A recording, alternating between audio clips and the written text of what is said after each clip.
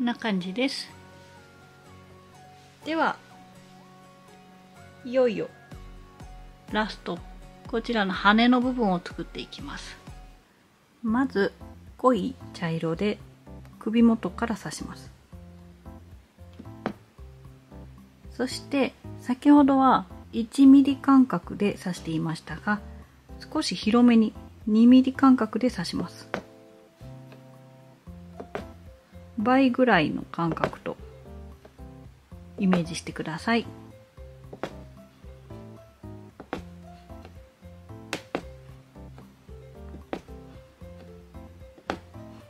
このまま線の上を進んでいきます。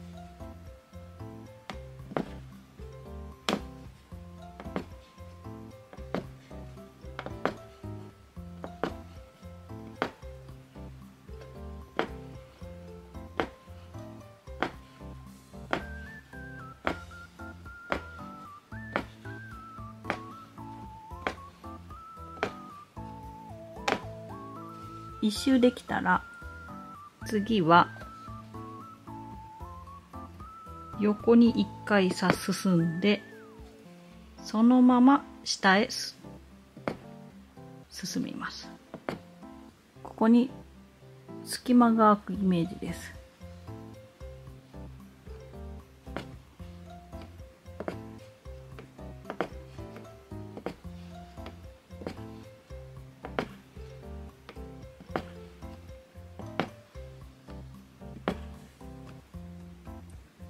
ここまで来たら次は上に進みます。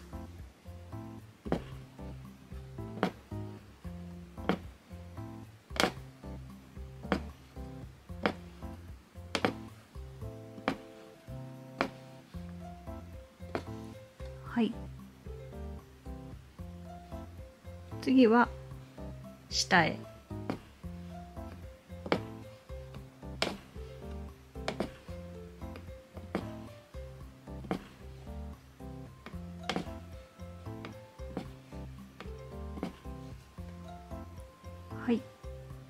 ここで一回糸を切ります。こんな風になりました。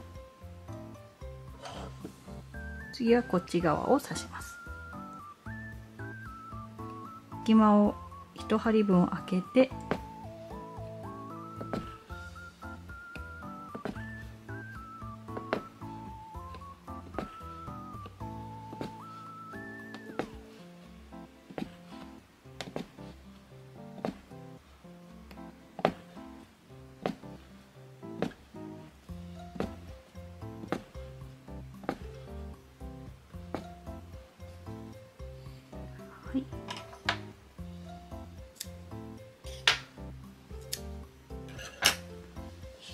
んな感じです。間隔は約 2mm ほどと考えていただいて少し大きくなっても小さくなっても大丈夫です。約そのぐらいの間隔で刺していくと思ってください。この隙間を十分に開けておくことが大切です。続いて糸をこちらのベージュの糸に変えます。今度は先ほどのこの隙間の部分を刺していきます。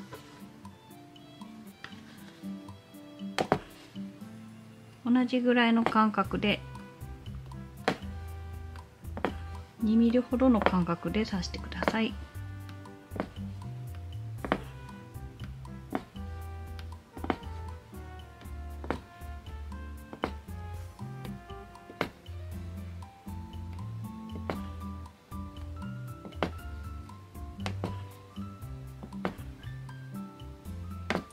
隙間を埋めていくイメージです。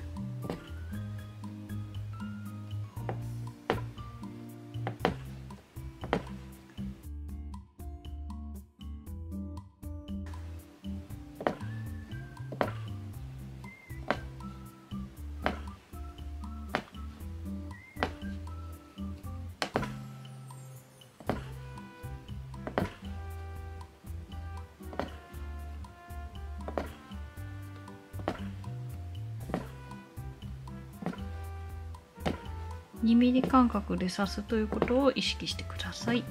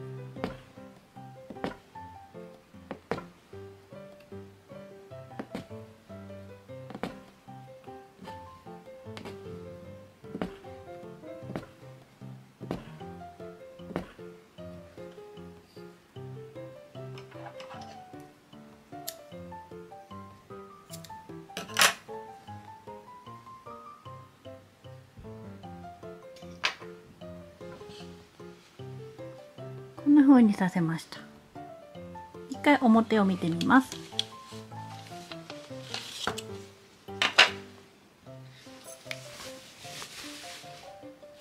はい。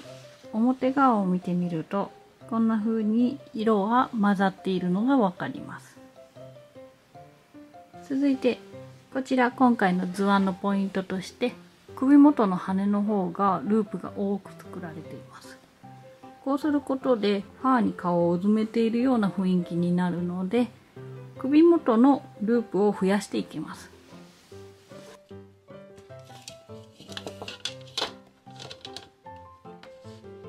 この辺りに 1mm 間隔で細かく刺していきます。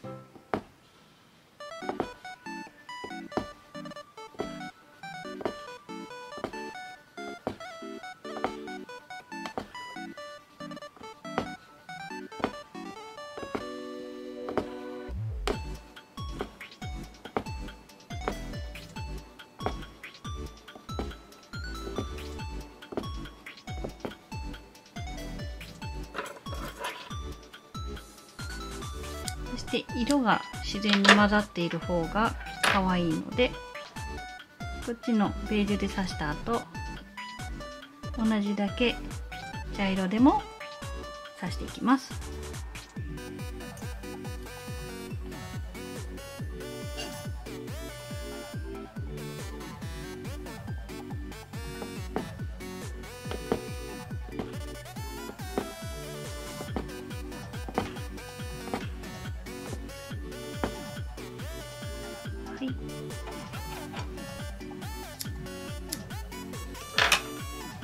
表を見て確認してみます。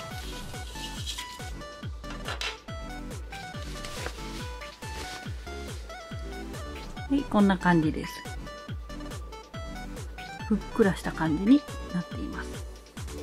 それではもう少し毛糸が余っているので毛糸が余った場合は少しここら辺のボリュームを増やしてあげても可愛い。です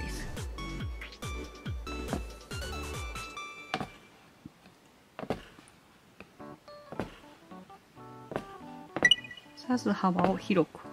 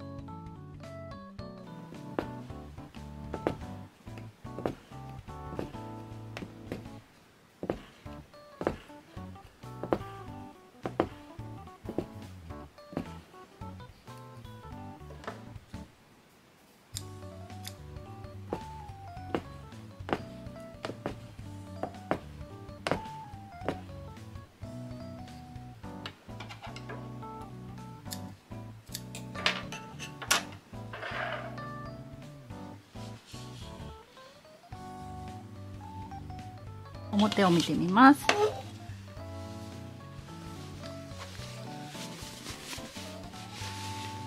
先ほどよりふっくらとした羽のペンギンになっています。仕上げにくちばしと密かにある小さな足。あと目をつけていきます。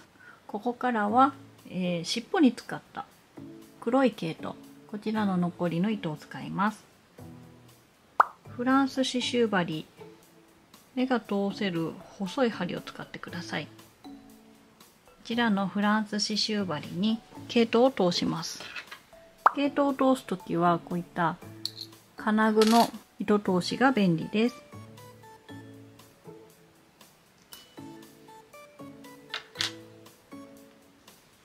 針に毛糸を通して2本取りにします。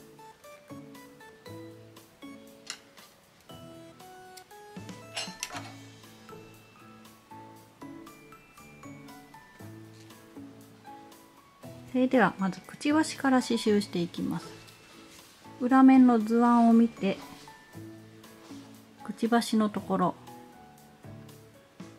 顔の付け根のところに針を刺します。そして表から見て糸を引き抜きます。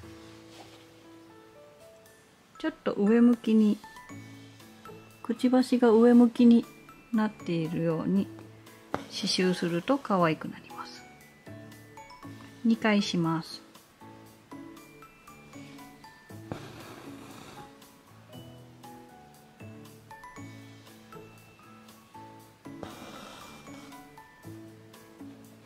で OK です。では後ろ側でくくります。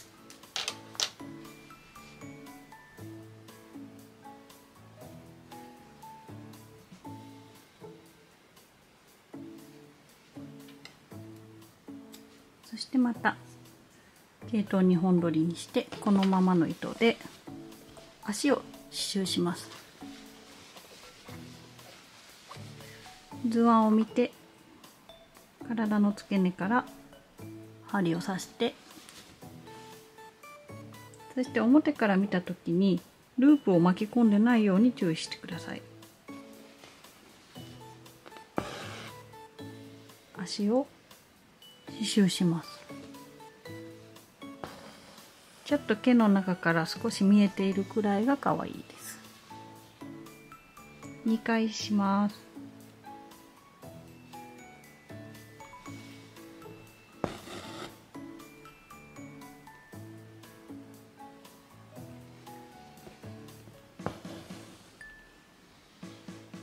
こんな感じです。では後ろで糸を切ってまたこちらも玉結びします。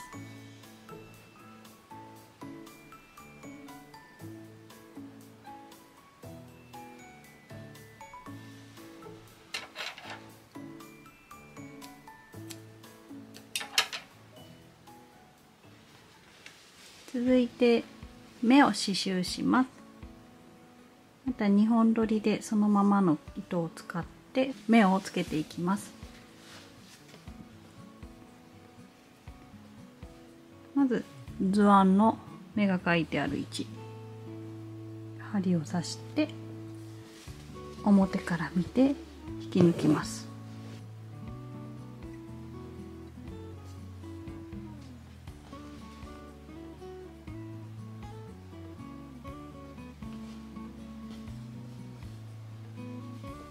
これで目がつきました。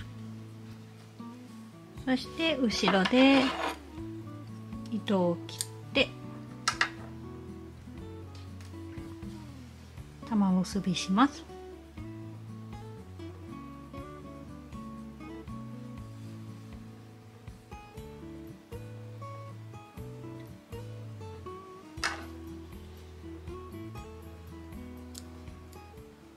裏面の糸の処理をします。使うのはこちらパンチニードル用ボンド。こちらのボンドで糸を固めます。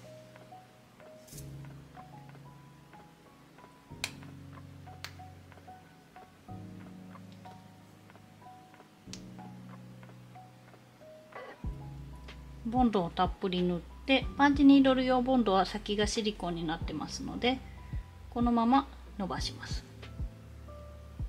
そうするとボンドが糸に染み込んでくれるので時間が経つとしっかり固まってくれます。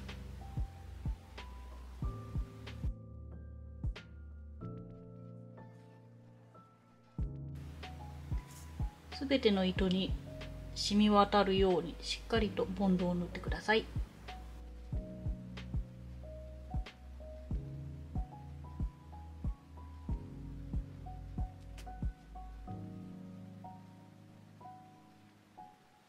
そして上からこちらのフェルトを貼ります。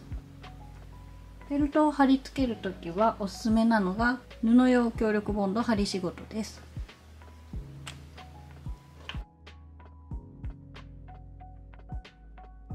たっぷりボンドを塗ります。剥がれてこないように端っこの方にもしっかり伸ばしてください。こちらの刺繍の上にペタッと貼ります。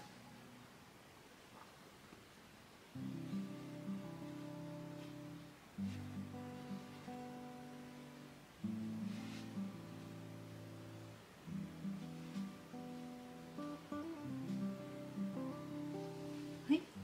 これでボンドが乾いたら完成です。はい。キングペンギンのヒナ完成しました。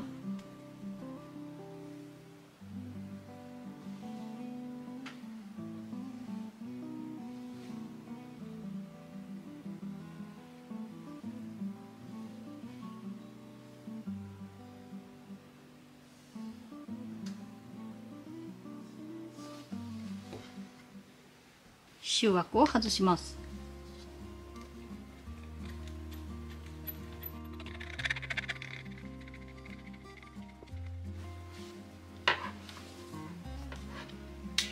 こちら刺繍枠の跡が残っていますが刺繍枠の跡は水を吹きかけてアイロンを当てると消えてくれます。